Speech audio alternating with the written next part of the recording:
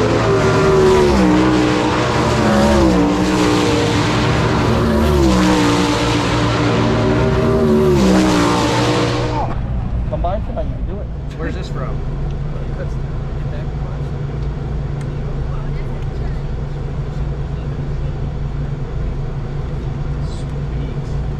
Good shot. Yep. Yeah, absolutely. Thanks, guys. Thanks for coming out. Welcome back to the channel. And I am walking up one of the more famous stairways in racing, walking over the bridge at Williams Grove. And uh,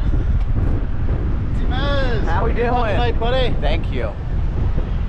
This place is pretty awesome. Uh, it's not always awesome in an on-wing sprint car. When it's real heavy and hooked up, it's kind of scary, but just had the driver's meeting. Almost go time uh, here at Williams Grove. This place is pretty wicked fast. Uh, long straightaways, tight corners. It doesn't race, you know, quite as fast as a lot of the half miles do, but you know, being a paper clip, it is very tricky in a non-wing car. Down the straightaway, the nose is trying to get up, and then when you when you set it down, it tries to like pull the left up off the ground. But uh, excited to be here.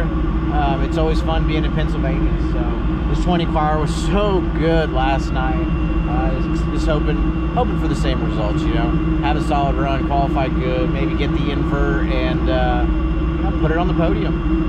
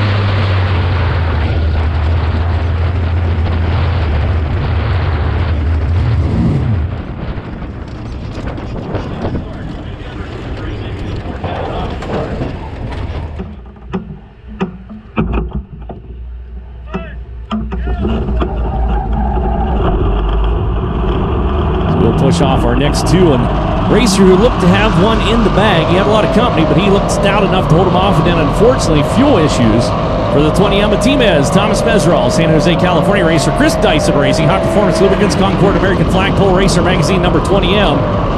Throttles down into the corner. That's a gasser right there heading out turn number two. Keep your eye on him. Just behind him comes the racer out of Mount Pocono, Pennsylvania. JPA Masonry, Mantia Real Estate, Stinger Race Fuel 88J, The Big Show, Joey Mantia. Lap number one for T-Mez, going to be 15th quick on the field at 20.865, 20.865. Lap number one for T-Mez. That front end getting a little light on him as he tries to get into the throttle. Joey Mantia, 18th quick at 21.477, 21.477, 18th quick. He's the final car in the inversion for Joey. He's out tight to the wall, all the way up to the number seven spot at 20.533, 20.533. Huge improvement for T-Mez on lap number two in the 20M. Oh, feel, feel like Ken Miles. This thing's just trying to fly away to Hawaii.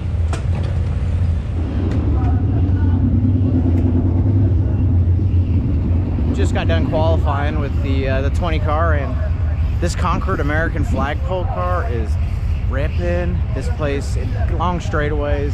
Um, so, and this thing's got a 930 horse uh, Don on in it, so it gets down the straightaways real good little little light in the front end. Uh, you know, it's just kind of trying to fly the nose right in the middle of the corner. And when it would do it, it was you know it was kind of turning left on me. And so, anyways, you know, we're in the show. We we, we went seventh quick and. Uh, looking like a good start to the night. We just need one person to miss on uh, the heat race, and we can start back on the front row again. So, uh, stoked about the way the night's going.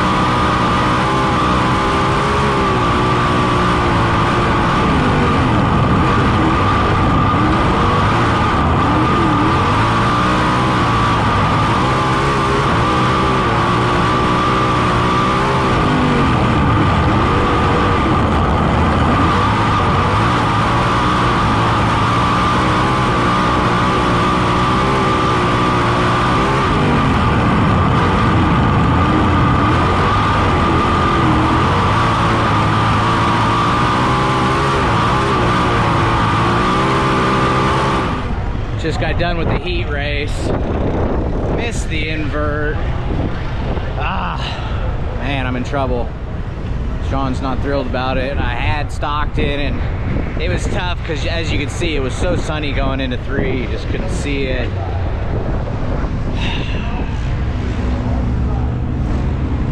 Sometimes, you know, you just just don't transfer, you know. That could have put us on the front row, but we missed, so we're not on the front row and we're making changes, but uh, hey, thanks for watching T-Mez TV. Might, uh, might stand up here on uh, Briggs Danner's trailer, get a little bit of the next heat race. So.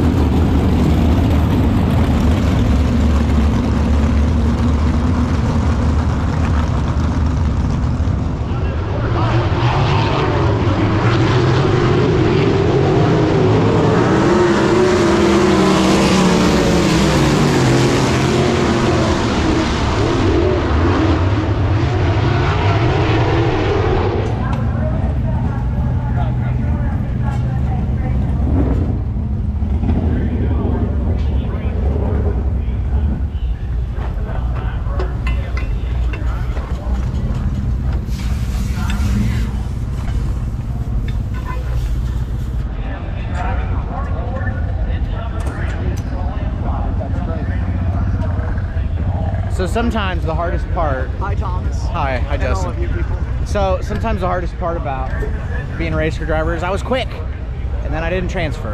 It's tough. It's tough. It's tough. How'd you go? Uh, I was pretty good. Yeah. Nice. Actually, I think I think I got your heat race. You uh, might have been driving by the by the leader there, but uh, Sweet.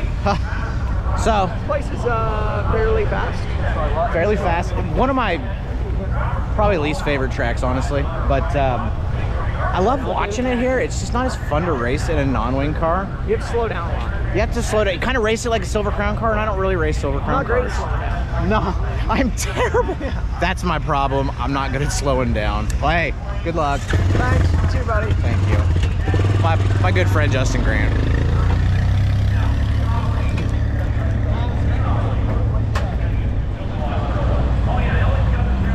Just getting your shirt, you know.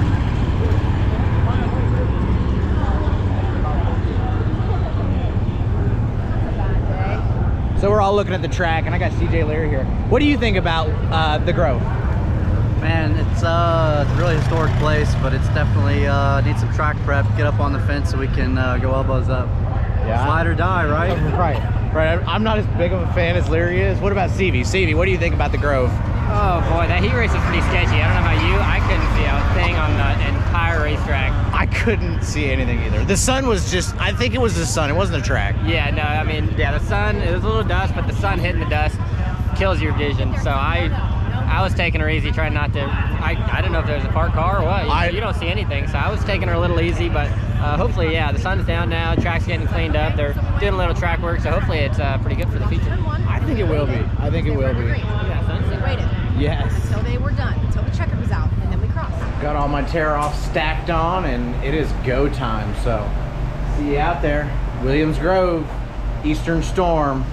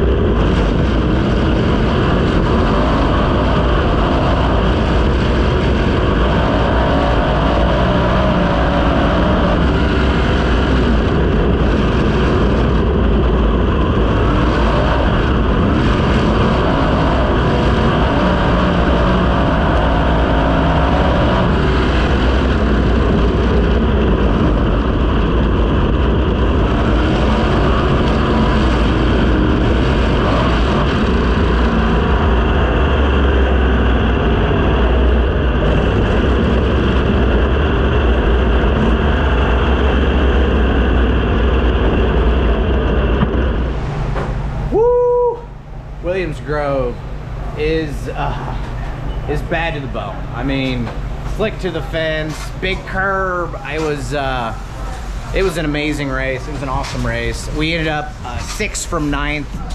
So uh, not a bad run for the night. This place is super tricky to drive by people, but uh, as always, pumped on uh, how the night went. And once again, thanks a bunch for watching T-Mez TV. Uh, should be some amazing footage, I'm sure.